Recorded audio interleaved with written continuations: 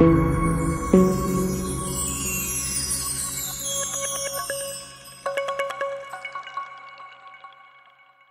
की तरफ़ बढ़ते हैं, जो कि है निडेरिया, या इसको बोला जाता है सिलेंट्रेटा। क्या बोला जाता है? सिलेंट्रेटा भी बोला जाता है। अब दोनों शब्दों का मतलब जब समझ लोगे तो मेन फीचर जो है इस फाइलम का, वो पता चल जाएगा आपको।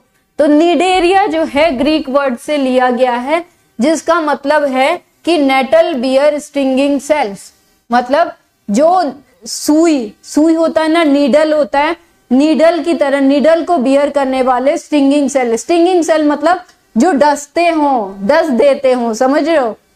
तो जो डस देते हो, उनको हम बोलते हैं निडेरियंस ठीक? जिनके पास निडल हो नेटल हो नेटल नीडल जो भी बोल लो बियर स्ट्रिंगिंग सेल डसने का काम होता है इनका। तो इसलिए इनको निडेरियन बोलते हैं। तो अब आपको एक स्पेशल फीचर यहीं से पता चल जाएगा, नाम से वो कि क्या है, कि इनके पास स्टिंगिंग सेल्स होते हैं। दूसरा है सिलेंट्रेट्स ये एंशियंट ग्रीक के वर्ड से लिया गया, जिसका मतलब सोइलोस का मतलब होता है हॉलो खाली, और एंट्रॉन एंट्रॉन का मतलब होता है गट। मतलब यहाँ पे एक हॉलो गट भी होता है। तो दो स्पेशल फीचर तो आपको यही पता चले गए, क्या पता चल गया हॉलोगट होता है। और क्या होता है इनके पास? स्टिंगिंग सेल्स होते हैं बच्चों, दो चीज़ें होती हैं। ठीक, पता चल गया? सॉरी ये तो मिट गया। तो ये दो चीज़ें होती हैं। अब इनमें आते हैं sea anemones corals hydra jellyfishes तो बहुत सारी चीज़ें जो हैं, इनमें आती हैं। कितने सुंदर सुंदर से दिखते हैं ना? अभी देखते हैं, इनके पास और क्या नया आया है? तो पहले ही हमने देख लिया था, कुछ चीज़ें नई आई हैं, क्या नई आई हैं? हॉलोगट और क्या नया आया स्टिंगिंग सेल। अब इनकी खासियत यही होती है, स्टिंगिंग सेल हॉलोगट और आया है टू सेल लेयर मतलब अब ये क्या हो गए? डिप्लोब्लास्टिक हो गए। टू सेल लेयर आ गया। और है ब्लाइंड गट जिसको हम हॉलोगट भी बोल रहे हैं। तो इनके पास टू सेल लेयर आ गया। तो ये क्या हो गए? डिप्लोब्लास्टिक हो गए। समझ में आया? इनकी सिमेट्री क्या होगी? रेडियल सिमेट्री होगी। रेडियल सिमेट्री होगी। लेवल ऑफ़ ऑर्गेनाइजेशन क्या होगा? ये यू मेटाजोआ होंगे। मतलब यू मेटाजोआ होने का मतलब होता है कि इनमें टिश्यू लेवल ऑर्गेनाइजेशन आ जाती है। अगर टिश्यू लेवल ऑर्गेनाइजेशन नहीं आती है तो पैराजोआ में आते हैं, जो कि क्या है? पोरीफेरा। यहाँ पे टिश्यू लेवल ऑर्गेनाइजेशन आ गई है, इंट्रोड्यूस हो गई है तो अब एक स्टेप आगे बढ़ गए। पोरीफेरा एक स्टेप आगे बढ़ गए।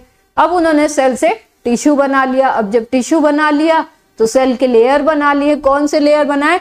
डिप्लोब्लास्टिक लेयर आ गई। ठीक? लेकिन अभी भी इनके पास ट्रू सिलोमेट नहीं है। ट्रू सिलोमेट नहीं है, यानी कि ये एसिलोमेट हैं। क्या है? एसिलोमेट गट क्या है? इनकम्प्लीट गट है। क्यों? क्योंकि माउथ और एनस का अता पता नहीं है। एक ब्लाइंड गट है, उसमें एक जो है एंट्री है है ना? ओनली वन एंट्रेंस है। अब चाहे उसको माउथ की तरह यूज़ करें या एनस की तरह, जब जैसा मोड होगा, वैसा यूज़ करेंगे। तो एक ब्लाइंड गट या ब्लाइंड सैक है इनके पास। ठीक, मोस्टली निडेरियंस जो है वो कार्निवोरस होते हैं। ऑल निडेरियन मोस्टली नहीं, ऑल। क्यों कार्निवोरस होते हैं? मैंने पहले ही बताया था कि अगर समुन्दर में रहते हैं तो खेती तो करेंगे नहीं। किसको खाएँगे? अपने से छोटे ऑर्गेनिज्म को खा के ज़िंदा रहेंगे। बराबर? इसके अलावा कुछ फोटोसिंथेटिक एंडोसिम्बायोन्स को रखते हैं। मतलब कुछ ऐसे प्रोटोजोन्स जो फोटोसिंथेटिक हो या बैक्टीरिया, उनको अपनी बॉडी में जगह दे देते हैं, फिर उनसे न्यूट्रिशन लेते हैं। तो ये दो मोड हो गया हो गया। या तो कार्निवोरस होंगे या एंडोसिम्बायोन्स बना लेंगे फोटोसिंथेटिक ऑर्गेनिजम्स के साथ। अब, क्योंकि नीडेर ये कोलेजन का लेयर तो पोरीफेरा में ही प्रेजेंट था। तो निडेरियन में तो आएँगे ही आएँगे। तो यहाँ कोलेजन, एक्टिन और मायोसिन प्रेजेंट होते हैं। इसके अलावा होमबॉक्स जीन्स भी यहाँ पे प्रेजेंट होते हैं। इसके अलावा सबसे पहले नर्वस सिस्टम का जो इवोल्यूशन हुआ है, सबसे पहले निडेरियंस में हुआ है। Simplest type of nervous system पाया गया है इनमें। और ये इनमें क्या होते हैं? रेडियल नर्व फाइबर्स होते हैं। Throughout body radial nerve fibres होते हैं। तो simplest type of neuron cells या न्यूरॉन फाइबर जो हैं, वो इनके पास प्रेजेंट है। बराबर बात, ये सारी चीज़ें समझ में आ गई? अब देखो, इसमें अगर हाइड्रा का एग्ज़ाम्पल हम देखें तो हम क्या देख पाते हैं? हम देख पाते हैं कि ये यहाँ पे एक ब्लाइंड सैक है। मतलब एक बैग या पाउच की तरह से अंदर एक खाली जगह है। खाली जगह है कैविटी है और इस कैविटी को हम बोल देते हैं गैस्ट्रोवास्कुलर कैविटी गैस्ट्रोवास्कुलर क्यों कह देते हैं? हमारी बॉडी में जहाँ डाइजेशन होता है, उसको ही तो हम गैस्ट्रोवास्कुलर गैस्ट्रो सिस्टम बोलते हैं। तो वैसे ही यहाँ पे जहाँ डाइजेशन हो रहा है, वो किसी कैविटी में हो रहा है। जब वो कैविटी में हो रहा है तो उस कैविटी को हम क्या बोल दे रहे हैं? गैस्ट्रोवास्कुलर कैविटी बोल रहे हैं। अब इस कैविटी का काम क्या क्या होता है? इस कैविटी का काम होता है पहला डाइजेशन का, दूसरा सर्कुलेशन का, तीसरा ये गैसेस एक्सचेंज में भी काम आता है, चौथा ये हाइड्रोस्टैटिक स्केल्टन बनाता है। हाइड्रोस्टैटिक स्केल्टन का मतलब कि हाइड्रोस्टैटिक स्केल्टन ऐसे होते हैं जैसे आपने होली में बलून्स मारे होंगे ना उठा के दूसरों को बलून्स में पानी, अभी रेडियल नर्व्स का मतलब पता चलेगा आपको। देखना। हाँ तो मैं क्या कह रही थी? बलून्स बलून्स में कभी देखा है? पानी भरा होता है। एक तरफ़ दबाओ तो दूसरा तरफ़ स्वेल हो जाता है और जहाँ दबाया आपने, वो पतला रह जाता है। तो पानी कहा? जिधर आपने दबाया, उधर से मूव करके दूसरी तरफ़ मूव कर गया ना, उधर से हट के दूसरी जगह चला गया। तो मूवमेंट हुई। वैसे ही हाइड्रोस्केटेटिक स्केल्टन में भी मूवमेंट होती है। अगर ये यहाँ पे कॉन्स्ट्रिक्ट हुआ दो, यहाँ पे ये कॉन्स्ट्रिक्ट हुआ तो ये अंदर जो हाइड्रोस्टैटिक स्केल्टन जो कि जेल लाइक होता है, वो मूव करके इधर चला जाएगा। तो ये कॉन्स्ट्रिक्शन जो हो रहा है दबाने से, उसकी वजह से हाइड्रा में, या फिर बोला जाए निडेरियंस में मूवमेंट होता है मूवमेंट इंट्रोड्यूस होता है। तो ये हो गया आपका हाइड्रोस्टैटिक स्केल्टन अब इनमें लगभग ग्यारह हज़ार स्पीसीज जो हैं, वो पाई जाती हैं। और इनमें जनरली आते हैं jellyfish sea animals corals and hydrozoans अब आगे देखेंगे हाइड्रोजोन्स क्या हैं। अब ये गैस्ट्रोवस्कुलर कैविटी का मैंने बताया कि एक ही माउथ होती है सिंगल ओपनिंग अब ये ओपनिंग सराउंडेड होती है कुछ टेंटिकल से। इस तरह के कुछ प्रोजेक्शन होते हैं, ठीक? हेयर लाइक कुछ प्रोजेक्शन होते हैं। इनको हम बोलते हैं टेंटिकल्स बराबर? अब इनको डिटेल में देखते हैं। चलो, हमने बात की थी कि यहाँ पे लेयर इंट्रोड्यूस हुई हैं। कितनी लेयर दो लेयर इंट्रोड्यूस हुई हैं। तो कौन कौन सी? एक बाहर, जो कि एपिडर्मिस है। उसके बाद जो इनका गैस्ट्रोवास्कुलर कैविटी है, उसको सराउंड किए हुए गैस्ट्रोडर्मिस गैस्ट्रोडर्मिस जो कि किससे डेराइव है? जो कि एंडोडर्म से डेराइव है। एंडोडर्म ठीक, अब एपिडर्म और इस गैस्ट्रोडर्म एंडोडर्म के बीच में जो लेयर है, उसको हम क्या बोल रहे हैं? उसको हम बोल रहे हैं मीजोग्लिया क्या बोल रहे हैं? मीजोग्लिया ये क्या है? जेल लाइक है। जेल लाइक हाइड्रोस्टैटिक स्केल्टन बनाता है। तो ये हो गया आपका मीजोग्लिया। बराबर? अब इसी एपिडर्मिस में आपके कुछ नए नए सेल्स पाए जाते हैं, जैसे नीडोसाइट, जो कि क्या है? नीडोसाइट ही वो सेल हैं जो इसको स्पेशल बनाते हैं, जिनमें क्या कला होती है? डसने की कला होती है। जिनको हम क्या बोलते हैं? स्टिंगिंग सेल, जो कि डस लेते हैं। नीडोसाइट। ठीक, ये एपिडर्मिस में होती हैं। जनरली ये सबसे ज़्यादा होती है माउथ में और टेंटिकल्स के एपिडर्मिस में सबसे ज़्यादा होती हैं। ये नीडोसाइट माउथ के सराउंडिंग और टेंटिकल्स के एपिडर्मिस में सबसे ज़्यादा होती हैं। फिर, इसके अलावा इसी एपिडर्मिस लेयर में टेस्टिस ओवरी और जो बाकी चीज़ें हैं वो यही पाई जाती हैं। अब देखो, ये अपने प्रे को कहा ये एक पैरामीशियम को इसने क्या कर रखा है? एनगल्फ कर रखा है। और उसको डाइजेस्ट कहाँ कर रहा है? इस गैस्ट्रोवस्कुलर कैविटी में। तो ये समझ में आ गया? डाइजेशन इसके यहाँ गैस्ट्रोवस्कुलर कैविटी में होगा। दो लेयर्स हैं डिप्लोब्लास्टिक है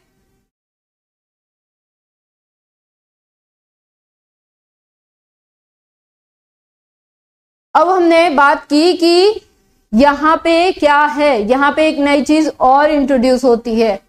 क्या क्या नई चीज़ें आ गई हैं? उनकी एक लिस्ट बनाते हैं हम पहले तो। लिस्ट बनाते हैं।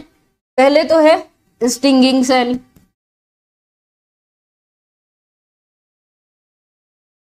जिनको हम बोल रहे हैं नीडोसाइड ठीक। डिप्लोब्लास्ट लेयर आ गया है। ए सिलोमेट है अभी तक।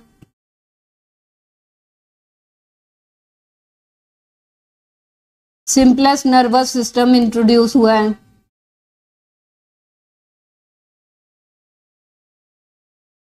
इसके अलावा एक और चीज़ जो आती है, वो आती है एपीथिलियो मस्कुलर सेल। ये जो हैं ये एपिडर्मल सेल्स में पाए जाते हैं एपीथीलियो मस्कुलर सेल अब इन्हीं एपीथीलियो मस्कुलर सेल की वजह से हाइड्रा में एक मूवमेंट आता है जिसको हम बोलते हैं hydro propulsion propulsion movement hydro propulsion movement क्या होता है कि ये पानी को धक्का दे के दे दे के आगे बढ़ते रहते हैं। थोड़ा सा धक्का दिया, आगे बढ़ा थोड़ा सा धक्का दिया, आगे बढ़ा। तो ये मूवमेंट हाइड्रो प्रोपल्शन मूवमेंट जो है, ये इनमें किसकी वजह से आता है? इन epi epithelio muscular epithelio muscular cells की वजह से आता है। एपिथिलो मस्कुलर सेल्स की वजह से आता है। ठीक? समझ आया? तो ये कुछ नई चीज़ें इंट्रोड्यूस होती हैं इनमें। ये अंदर की तरफ़ जो एंडोडर्म में है, अगर एंडोडर्म बॉडी कैविटी देखे, जो कि गैस्ट्रोवस्कुलर कैविटी में खुलती है तो इनके पास होते हैं न्यूट्रिटिव मस्कुलर सेल जो कि आपको ब्लू कलर से दिख रहा है। ये न्यूट्रिटिव मस्कुलर सेल्स के पास छोटे छोटे फ्लैजिला होते हैं और इन सेल्स के पास होता है फ़ूड वैक्यूल और यही सेम डाइजेशन का तरीका है फ़ूड वैक्यूल क्या करता है? पहले तो हाइड्रा जो कुछ खाता है लाइक पैरामीशियम खाया तो इन जो गैस्ट्रोवास्कुलर कैविटी होती है, वहाँ उसके बारीक बारीक टुकड़े होते हैं चर्निंग होती है। चर्निंग के बाद मतलब दो तरह के डाइजेशन होते हैं, यहाँ पे एक्स्ट्रा सेलुलर फिर इंट्रा सेलुलर डाइजेशन तो कैविटी में पहले चर्निंग होती है ब्रेकडाउन होता है छोटे पार्टिकल में, फिर वो फ़ूड वैक्यूल के थ्रू इंट्रा सेलुलर डाइजेशन होता है। समझ गए?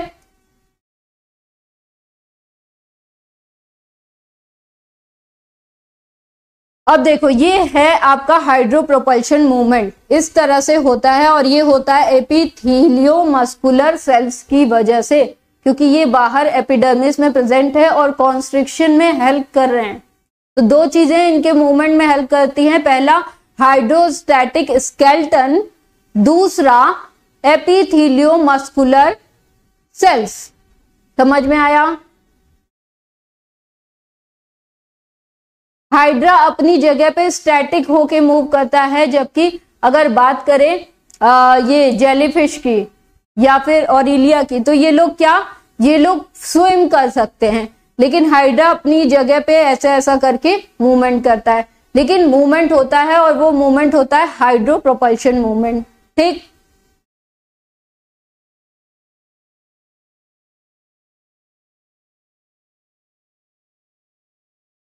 अब मैंने क्या बोला था?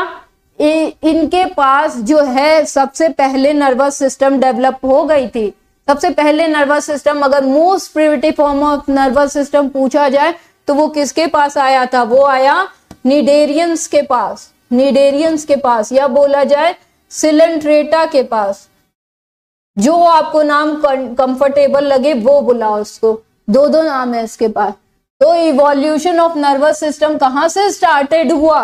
वो स्टार्ट हुआ निडेरियन से। अभी आप देख रहे हो ग्रीन कलर से एक नेटवर्क टाइप का क्या हुआ? है फैला हुआ है थ्रू आउट बॉडी नहीं, ये फ्लेम सेल को नहीं पॉजेस करते हैं। फ्लेम सेल प्लेटी हेलमेंथस में होते हैं। प्लेटफॉर्म्स में होते हैं।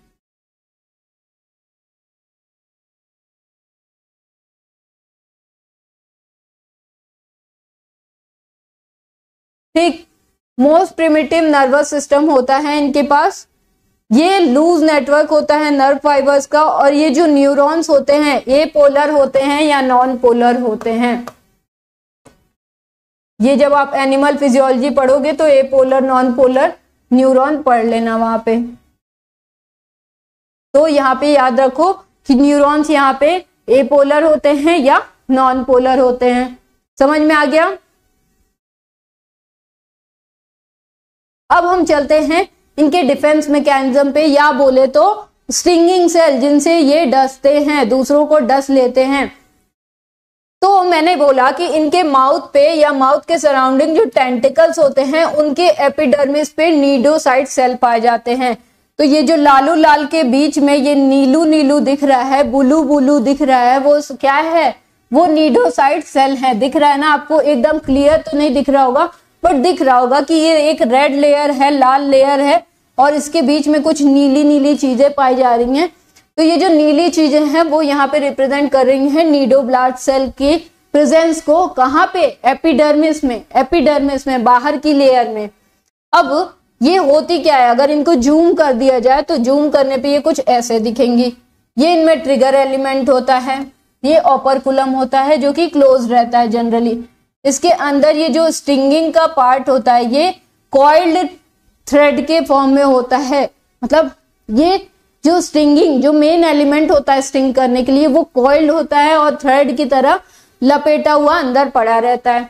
जैसे ही कोई प्रे आ गया, कोई फ़ूड पार्टिकल आ गया, या फिर कोई ऐसा उनको सेंस हुआ कि ये बंदा मेरे को हार्म कर सकता है तो वो तुरंत क्या करते हैं? अपने इस क्वाइल्ड थ्रेड को बाहर फेंक के डस लेते हैं उसको। क्या? इनने या तो बाँध के कैप्चर कर सकते हैं। तो ये एंकरेज में भी काम एंकरेज एंकरेज समझते हो? एंकर करना। तो एंकरेज का भी काम होता है इनका प्रे कैप्चर का भी होता है। और कई बार कई बार क्या होता है कि ये स्टिंगिंग सेल्स ना वेनम्स भी सिक्रीट करती हैं। तो कभी का, काफ़ी टाइम ये होता है कि जब कोई ह्यूमन स्विमर या गोताखोर जिनको बोलते हैं डीप सी में जाता है तो ये लोग उसको बहुत सारा ऐसा दस लेते हैं और उसकी और उसमें वेनम होता है। समझ में आया? वेनम होता है तो वो जहरीला भी होता है।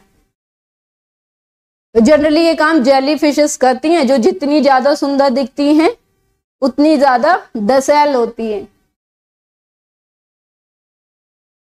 अब देखो ये इस तरह से थ्रेड फेंकते हैं, जैसे कैप्चर आया तो इनने अपना थ्रेड ऐसे बाहर निकाल दिया। वेनम भी सिक्रीट करते हैं। ये आपका माइक्रोस्कोपिक व्यू है। देखो वेन ये नीडोसाइड बाहर निकला, और इसने क्या सिक्रीट किया? यहाँ पे वेनम सिक्रीट किया।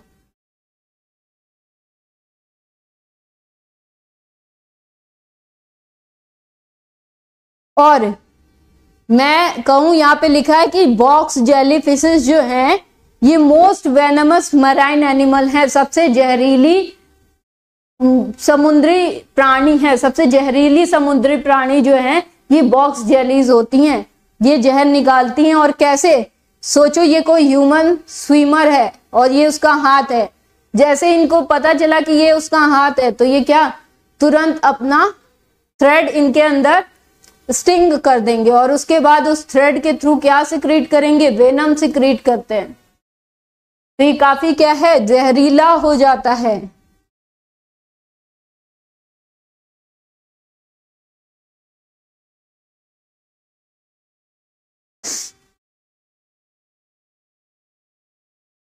जूम व्यू देखो अब, एक बार और देखो। इस डशेल को इस, एक बार और देखो। तो ये नीडोसाइट सेल है। इसके अंदर ये ये थ्रेड जो है, ये ट्यूब के फॉर्म में ये थ्रेड जो है स्पाइरली अरेंज होती है। इन, इस नीडोसाइड में एक न्यूक्लियस भी होता है। अब क्या है, ये ऑपरकुलम क्लोज रहता है। जैसे ही कोई प्रे आता है, ये ऑपरकुलम ओपन हो जाता है और ये ट्यूब जो है, छटक के बाहर निकल जाता है। और उसको अगर इनकरेज करना होगा प्रे को कैप्चर करना होगा तो कैप्चर कर लेगा। अगर स्टिंग करना होगा स्टिंग करेगा वैनम देना होगा तो वैनम दे देगा।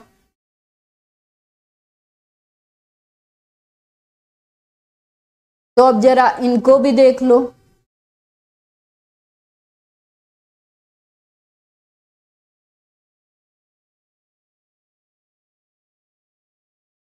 अब इसमें दो फॉर्म होते हैं। मैं बता रही हूँ, इनके बॉडी के दो फॉर्म होते हैं। पहला होता है पॉलिप दूसरा होता है मडूसा तो ये हो गया आपका पॉलिप फॉर्म ये पॉलिप फॉर्म दिखा रहा है, जिसमें एक स्टॉक है और ऊपर क्या टेंटिकल्स हैं, बीच में माउथ है।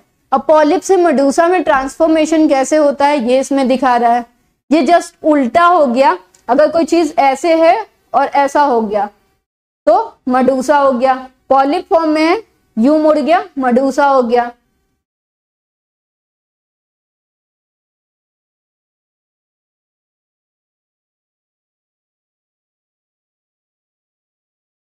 ठीक तो अभी हमने बोला कि इनके पास दो सेलुलर फॉर्म्स होते हैं। पहला पॉलिप फॉर्म होता है, दूसरा मेड्यूसा पर ज़रूरी नहीं है कि निडेरियन के जितने क्लासेस हैं, वो उनमें सब में पॉलिप और मेड्यूसा हो। हो सकता है किसी में दोनों प्रेजेंट हो, किसी में एक फ़ेज़ ज़्यादा देर तक प्रेजेंट हो, दूसरा कभी कभी आता हो। हो सकता है दोनों में से कोई एक फ़ेज़ प्रेजेंट हो। जिन भी एनिमल्स में, जिन भी निडेरियंस में ये दोनों फ़ेज़ बराबर प्रेजेंट होते हैं लाइक पॉलिप और मेड्यूसा दोनों प्रेजेंट होते हैं तो पॉलिप फ़ेज़ लीड करता है ए सेक्सुअल फ़ेज़ को, जबकि मडूसा फ़ेज़ जो होता है लीड करता है सेक्सुअल फ़ेज़ को। पॉलिप फ़ेज़ जो है, वो जनरली बर्डिंग या फ्रेगमेंटेशन के थ्रू अपना क्या करता है? मड्यूसा बनाता है। जबकि मड्यूसा फ़ेज़ क्या करती है? मड्यूसा फ़ेज़ स्पर्म बनाती है, ओवम बनाती है फर्टिलाइज होने दे एक्सटर्नल फर्टिलाइजेशन यहाँ होता है। फर्टिलाइज होते हैं, फिर वो बनाते हैं पॉलिप समझ में आया? अब डिफरेंस क्या है यहाँ पे? पॉलिप और मोड्यूसा लगभग ऑलमोस्ट सिमिलर बॉडी प्लान्स होते हैं, पर पॉलिप के पास माउथ यहाँ टेंटिकल्स यहाँ, और नीचे जुड़ा हुआ स्टॉक होता है। और ये पॉलिप फॉर्म जो होते हैं सेसाइल होते हैं। सेसाइल का मतलब कि ये किसी एक जगह से जुड़े होंगे। स्विम नहीं करते हैं मूवमेंट नहीं करते हैं, एक ही जगह पे उनका जो भी मूवमेंट होगा, उसी जगह पे होगा। तो ये सेसाइल होते हैं मतलब किसी बेस से जुड़े रहते हैं। और किसके थ्रू जुड़े रहते हैं? इस स्टॉक के थ्रू जुड़े रहते हैं। अब क्या होता है? मैंने बोला कि ऐसा होता है और मिड्यूसा में ऐसा होता है। तो जस्ट ये वाला पोर्शन अगर सारा नीचे हो जाए तो ये बनाता है मिड्यूसा फॉर्म मिड्यूसा और पॉलिप में डिफरेंस क्या होता है? डिफरेंस होता है मिजोग्लिया का। मिजोग्लिया कहाँ होता है? एपिडर्मिस और ये एपिडर्मिस है और ये क्या है? इनका गैस्ट्रोडर्मिस है। इसके बीच में जो लेयर पाई जाएगी, उसको हम क्या बोल रहे हैं? इसको हम बोल रहे हैं मीजोग्लिया ठीक? मीजोग्लिया बोल रहे हैं। तो डिफरेंस मीजोग्लिया में कैसे आता है? पॉलिप में ये थिन होती है, थिन होती है मतलब पतली होती है। पॉलिप में मिजोग्लिया जो होती है, थिन होती है। जबकि अगर हम देखें मिड्यूसा फॉर्म में तो मिजोग्लिया थिक होती है। कैसे? यहाँ पे देखो, ये मिजोग्लिया की लाइट पिंक लाइनिंग जो दिख रही है, बिल्कुल लाइट पिंक। दो डार्क पिंक के बीच में एक लाइट पिंक लाइनिंग दिख रही है मिजोग्लिया की, ये वाली। वो यहाँ पे पतली है और यहाँ पे काफ़ी मोटी दिख रही है आपको, है ना? तो आपको ये याद रखना है कि पॉलिप में मिजोग्लिया थिन होती है और मेड्यू, मेड्यूसा में मिजोग्लिया थिक होती है।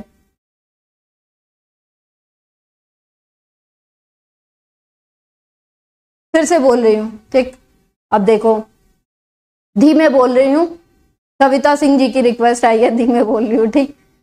ऐसा है कि दो फॉर्म होते हैं, या तो पॉलिप होता है, पॉलिप होता है और मिड्यूसा होता है। बहुत सारे निडेरियंस ऐसे होते हैं जिनमें या तो पॉलिप होगा या मिड्यूसा होगा। ठीक? तो पॉलिप, मिड्यूसा दोनों हो सकते हैं या दोनों में से कोई एक हो सकते हैं। पॉलिप जो होता है, वो सेसाइल होता है मतलब मूव नहीं कर सकता है, जबकि मेड्यूसा के पास एबिलिटी होती है कि वो पूरे वाटर में स्विम कर सकती है। ठीक? कहीं भी जहाँ मन में आए, वहाँ जा सकती है, आज़ाद पंछी है। तो मिड्यूसा आज़ाद पंक्षी है। मिड्यूसा का शेप जो होता है बेल शेप होता है और पॉलिप का शेप जो होता है सिलेंड्रिकल होता है। ठीक? अब जो पॉलिप होते हैं, वो ए सेक्सुअल फेस को रिप्रेजेंट करते हैं निडेरियंस में, जबकि मिड्यूसा जो होता है, वो सेक्सुअल फेस को रिप्रेजेंट करता है। मिड्यूसा बना सकता है स्पर्म और ओवा दोनों बना सकता है। जबकि पॉलिप क्या करते हैं? बर्डिंग एंड फ्रेगमेंटेशन के थ्रू मिड्यूसा को बनाते हैं।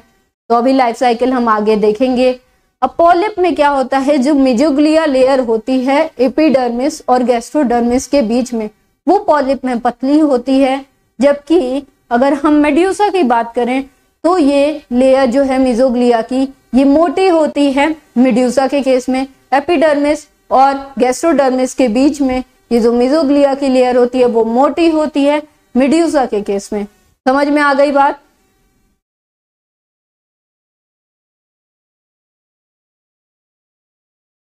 हाँ निमोएटोसिस्ट भी बोलते हैं भाई।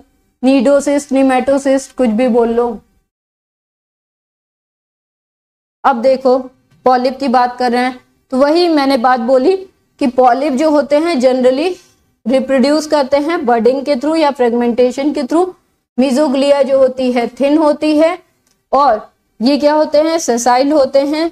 इनके पास एक सिलेंड्रिकल स्टॉक होती है। ये है आपका सिलेंड्रिकल स्टॉक ये बर्डिंग बना रहे हैं अपने किसके लिए? ए सेक्सुअल रिप्रोडक्शन के लिए।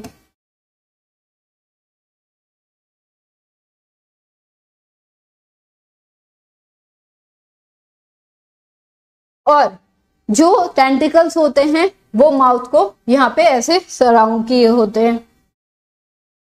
अब यही पॉलिप अगर उल्टा हो जाता है तो मिड्यूसा फॉर्म में आता है। यहाँ पे मिजोग्लिया की लेयर क्या होती है? थिक होती है। ये स्विम करते हैं फ्लोट करते हैं स्विम करते हैं। और स्विम करते टाइम इनका माउथ क्या होता है? अगर ये हाइड्रा का पॉलिप फॉर्म है जिसमें माउथ ऊपर की तरफ़ है तो अगर ये मेड्यूसा में बन जाता है तो माउथ किधर आता है? नीचे की तरफ़ आता है, ठीक? तो टेंटिकल्स कहा? फेसिंग डाउनवर्ड हो जाते हैं। टेंटिकल्स डाउनवर्ड फेस करते हैं, जबकि पॉलिप में अपवर्ड फेस करते हैं। ये अम्ब्रेला या बेल शेप होते हैं सारी वही बातें हैं जो मैंने इससे पहले बताई थी। अब मेडूसा फॉर्म जो है, इसके थ्रू जो है, ये सेक्सुअली प्रोड्यूस कर सकते हैं। क्यों? क्योंकि ये मेड्यूसा फॉर्म जो है एग और स्पम बनाता है और रिलीज़ करता है वाटर में। तो मैंने ए सेक्सुअल मोड का क्या बताया था कि फ्रेगमेंटेशन या बर्डिंग करके हो जाता है। दूसरी बात, ये जो यहाँ पे रिप्रोडक्शन होता है, यहाँ पे भी जो हाइड्रा है या जो भी निडेरियंस है, वो हर्माफोर्डाइट होते हैं। वापस से बोलती हूँ हर्माफोर्डाइट होते हैं। क्यों हर्माफोर्डाइट होते हैं? क्योंकि ये अपना स्पर्म भी एक ही बॉडी में बनाते हैं एग भी उसी बॉडी में बनाते हैं। ठीक? एग बनाते हैं स्पर्म भी बनाते हैं। अब फर्टिलाइजेशन यहाँ पे जो होती है, वो होती है एक्सटर्नल फर्टिलाइजेशन या इसको बोलते हैं ब्रॉडकास्ट फर्टिलाइजेशन ब्रॉडकास्ट फर्टिलाइजेशन की चिल्ला चिल्ला के सबको बता दिया। बाहर निकाल दिया एग को भी स्पर्म को भी, हो रहा है फर्टिलाइजेशन सबको पता है। ठीक? तो ब्रॉडकास्ट फर्टिलाइजेशन है ये।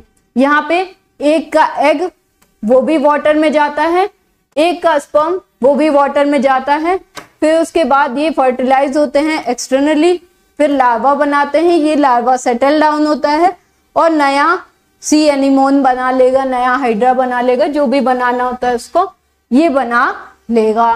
बराबर बात? तो मैंने क्या कहा? पॉलिप स्टेज जो पॉलिप स्टेज है वो पॉलिप स्टेज लीड करता है asexual life asexual stage को, और ये जो मड्यूसा स्टेज है, वो सेक्सुअल स्टेज को। ठीक?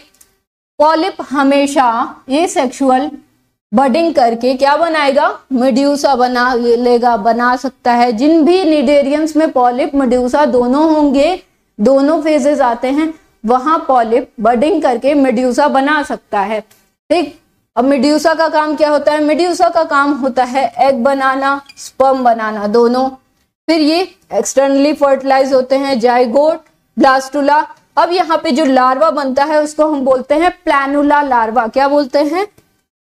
प्लानुला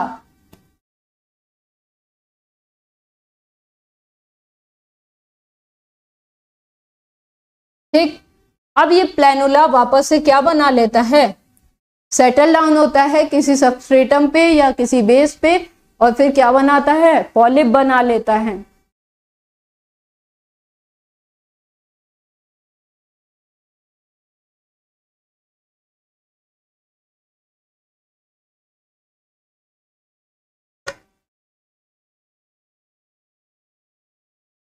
देखो, किसी एक बच्चे ने कितनी अच्छी ट्रिक बताई है, मुबासिर गानी ने, कि पॉलिप मतलब मिजोग्लिया पतली मिड्यूसा एम फॉर मोटी मिजोग्लिया मोटी। वेरी गुड यार।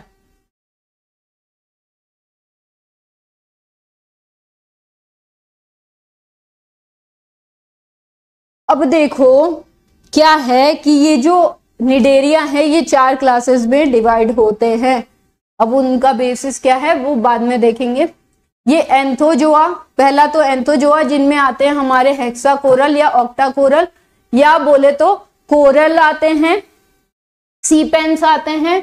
तो यहाँ पे कोरल आ रहे हैं सी एनमन आ रहे हैं सी पेंस आते हैं।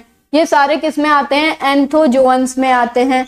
इसके बाद कुछ फायर कोरल्स और हाइड्रा क्योंकि हाइड्रा है तो हाइड्रोजोआ बोल सकते हैं, समझ सकते हैं, याद रख सकते हैं। हाइड्रा है तो हाइड्रोजोआ याद रख सकते हैं। इसके बाद क्यूबोजोआ, जिसमें आते हैं बॉक्स जेलीफिश और साइफोजोआ, जिसमें आते हैं सी जेलीज अब, चार क्लासेस हैं। चारों क्लासेस में कुछ इंपॉर्टेंट चीज़ें हैं। एग्ज़ाम्पल देखो तो पहला है हाइड्रोजोन हाइड्रोजोन का एग्ज़ाम्पल है पोर्टुगीज मेन ओ वा ठीक? जिसको हम फाइसेलिया भी बोलते हैं। और दूसरा एग्ज़ाम्पल है हाइड्रा अब इनमें पॉलिप और मेड्यूसा स्टेज दोनों होते हैं और दोनों बराबर होते हैं। तो हम इसके लिए याद रख सकते हैं PM is equal to H मतलब पॉलिप भी है मेड्यूसा भी है, दोनों बराबर हैं और किसमें है? हाइड्रोजोआ में है। ठीक, उसके बाद आता है साइफोजोआ। साइफोजोआ में मून जेलीफिश या ऑरिलिया जो भी हम बोलते हैं इसको ऑरिलिया आता है। इनमें मेड्यूसा डोमिनेंट होता है, लेकिन पॉलिप भी पाया जाता है। मतलब मेड्यूसा फ़िश ज़्यादातर पाया जाता है, लेकिन पॉलिप भी प्रेजेंट होता है। तो इसको हम याद रख सकते हैं साइफोजोआ फॉर एस और क्योंकि मेड्यूसा ज़्यादा पाया जा रहा है तो सबसे पहले एम आएगा, फिर पी आएगा। पॉलिप छोटा होता है तो इसलिए सबसे एंड में रखते हैं इसको। तो हम इसको याद रख सकते हैं एस एम पी मतलब साइफोजोआ साइफोजोआ में मेड्यूसा डोमिनेंट करेगा पॉलिप जो है वो बाद में सबसे छोटा सा पॉलिप आएगा ठीक? इसके बाद है क्यूबोजोआ क्यूबोजोआ। क्यूबोजोआ का एग्ज़ाम, क्यों बोलते हैं क्योंकि इनमें जो मेड्यूसा होता है वो क्यूब शेप होता है। इसका एग्ज़ाम्पल हो जाएगा ऑस्ट्रेलियन बॉक्स जेलीफिशेज, जो इनको मैंने पहले क्या बोला था कि ये सबसे ज़्यादा डसाइल सबसे जहरीले जेलीफिश होते हैं। मैराइन एनिमल्स में सबसे ज़्यादा वेनमस होते हैं वो ऑस्ट्रेलियन बॉक्स जेलीफिशेज होते हैं। बॉक्स जेलीफिश क्यों कहा जाता है? क्योंकि क्यूब शेप के हैं।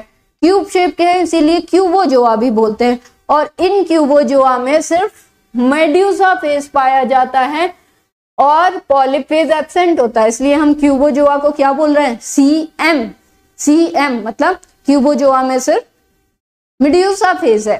समझ आया?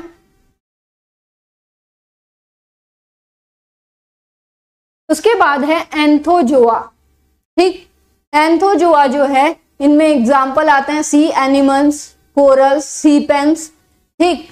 और इनमें मेड्यूसा नहीं होती, इनमें सिर्फ़ क्या होता है? पॉलिप होता है। इसलिए हम याद कर सकते हैं, एंथोजोआ पॉलिप ए पी तो आप याद रख लो P M is equal to H S M P C M और ए पी इतना याद रख लो, एक क्वेश्चन आराम से बन जाएगा।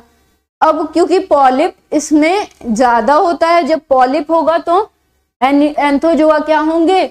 सेसाइल होंगे ऑब्वियसली इसीलिए कोरल्स जो होते हैं, वो सेसाइल फॉर्म में मिलते हैं। ऐसे एक क्लम्स मिलता है, उनका कॉलोनाइज हो जाते हैं। मूव तो कर नहीं सकते हैं। फ्रेगमेंटेशन जब भी करेंगे, अब पॉलिप फॉर्म पाया जा रहा है। किसी में पॉलिप फॉर्म पाया जा रहा है तो वो ऑब्वियसली बर्डिंग फ्रेगमेंटेशन करेगा। बर्डिंग फ्रेगमेंटेशन करेगा और पॉलिप है तो एक ही जगह रहेगा। तो जब बर्डिंग फ्रेगमेंटेशन कर रहा है तो आस पास जितने भी उसके नए बनेंगे एनिमल्स या ऑर्गेनिज्म उसके आस पास बनेंगे।